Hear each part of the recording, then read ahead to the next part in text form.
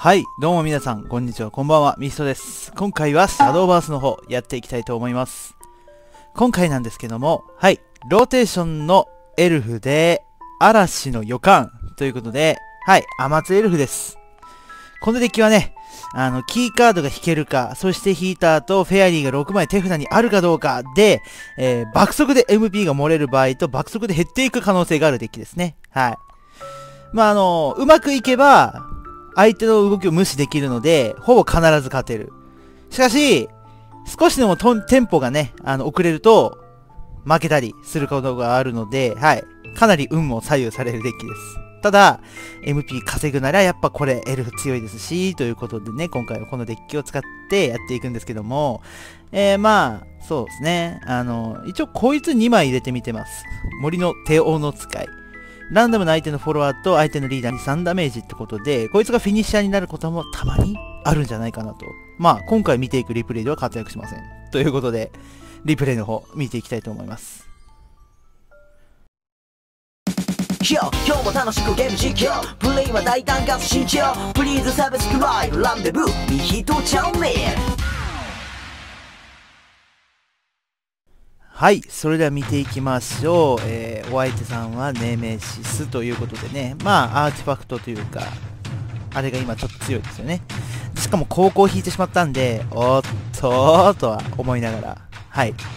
え最初ですね、あのー、アマツ引けたので、オッケーオッケー、じゃあ、新鉄発電法いらないや、と。森嵐への報い。まあいいでしょうと。1コストでね、使える何かが欲しかったっていうのもありますけど、まあ2コストのフェアリー稼げるカードが確実に1枚は欲しかったと。で、ウォーターフェアリーが来たので、ウォーターフェアリーを使っていきます。ところがどっこい。そこら辺はネメシスですよね。ええ。強いカードがあるんですよ。ミュニエ。他のフォロワー全ては能力を失うということで、ラストワードが失われました。じゃあ、森嵐への報いでいくかということで、森嵐で報いた後、フェアリーは相手の顔へ。3コストですね。お相手さん動きがなしです。おやと。ここは、えー、いたずらの精霊を、えー、結晶で使って、砲画の化身。これでフェアリーが手札に3枚。で、お相手さんの 4PP ですね。ララミア。プレミアなんですよ。突進で除去していきます。で、ここね、はい。スピリット社員をした後、アマツで守護を立てておこうということで、1枚使います。手札のフェアリーがまだ5枚なので、あの、フェアリー、手札のフェアリー全てが失踪は持たないんですけども、はい、次から失踪を持ちます。アイアンシンガー、ファンファーレ、パラダイムシフト1枚を手札に加える。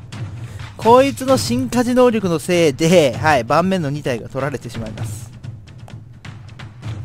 デバイスチューナーで、はい、エンシェントアーティファクトを手札に加えまして、必殺と相打ちからのエンシェントアーティファクト、えーっと、強いなーと。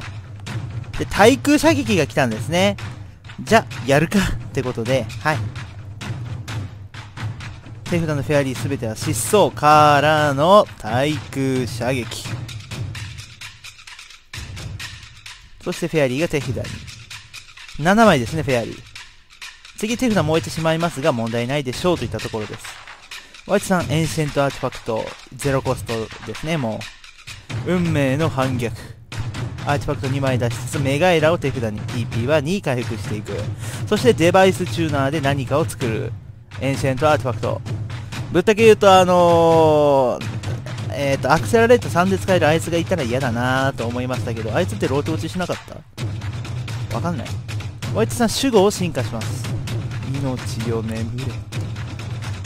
進化して、僕のターン。燃えてもいいやつ。で、ここはアマツ。両乱に咲く妖精の剣。で、邪魔なので、アマツを進化して、えー、守護をどかします。そしたら、えー、もちろんね、手札のフェアリー7枚で走っていきます。何して遊ぶの？アクティベール不明を手札に加え、相手の顔へ走る。で、ぶっちゃけ言うと、まあまあ怖かったのは怖かったんですけど、まあさすがにね、盤面当たってきてくれて、運命の反逆。また守護が出されるんですね。ところがどっこい、こちらには進化権が残っております。パラダイムシフト。これで回復されるんですけど、はい。体力9でしょ？進化権が残っているでしょ？はい、リーサルです。